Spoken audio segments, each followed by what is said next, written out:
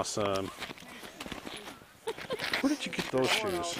These? I have no idea. Forever, but probably just like, you know, berries or somewhere. I did a lot of research on, on snowshoes. You can get snowshoes for practically anything.